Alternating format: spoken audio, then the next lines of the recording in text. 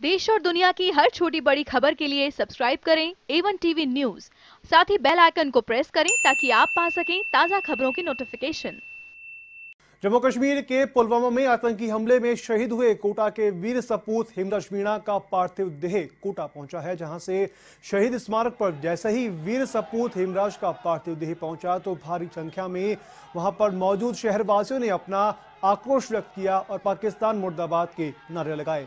साथ ही हिमराज मीणा अमर रहे और हिंदुस्तान जिंदाबाद के नारे लगाए गए, जिसके बाद सभी ने नम से हिमराज मीणा का उनको अंतिम विदाई दी है। एरोड्रोम सर्कल पर भी भारी संख्या में लोगों ने शहीद हेमराज को श्रद्धांजलि दी, जिसके बाद पूरा काफिला सांगोद कस्बे में स्थित उनके गाँव विनोद कला के लिए रवाना हुआ।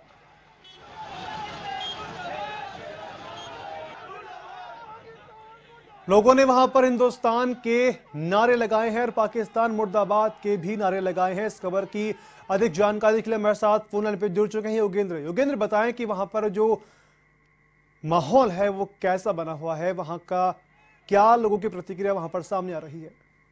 रौनक मैं आपको बता दूँ निश्चित तौर पर ये बड़ा हादसा जो बड़ी घटना आतंकियों ने जिसको अंजाम दिया उसमें सभी जवान हमारे देश के सीआरपीएफ के जो शहीद हुए। कोटा के कोटा ज़िले की जो सांकोद कस्बे में विनोद कला गाँव है गाँव में हेमराज मीणा जो हेड कांस्टेबल थे सीआरपीएफ के इकसठ बटालियन के। उनका पार्थिव शरीर आज सुबह तकरीबन 11 बजे कोटा पहुँचा और सबसे बड़ी बात उन्होंने आपको बता दूँ कि पूरे रास्ते में, चाहे बड़गांव की बात करें नयापुरा की बात करें कुनाड़ी की बात करें, पूरे रास्ते में उनका, उनको श्रद्धांजलि दी गई, नम आँखों उनको श्रद्धांजलि दी गई। साथ ही जो शहर शहरवासी थे, उन्होंने पाकिस्तान मुर्दाबाद के नारे लगाए, हिंदुस्तान जिंदाबाद के नारे लगाए और हेमराज मीणा अमर रहे के नारे लगाए। एक आक्रोश जो है वो शहरवासियों की आँखों में दिखा साथ ही शहरवासियों की आँखों में आँसू भी दिखे।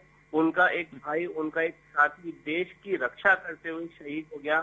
शहीद स्मारक पर जैसे ही आ, जो पार्टी शरीर हेमराज का पहुँचा लोगों की आँखें नम नम सभी ने नम आँखों उनको श्रद्धांजलि दी। जिसके बाद एरोड्रम सर्किल पर भी तकरीबन हज़ारों की तादाद में शहरवासी मौजूद थे।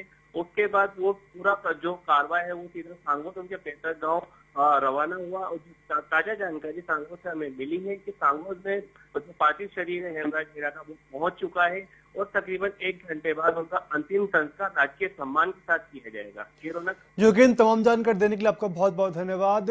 वहाँ पर भी तमाम तरह के लोग वहाँ पर मौजूद हैं, जिनकी आँखें नम हैं। और वो ये चीख चीख कर कह रहे हैं कि इसका बदला साफ़ तौर पर, निश्चित तौर पर लिया जाए।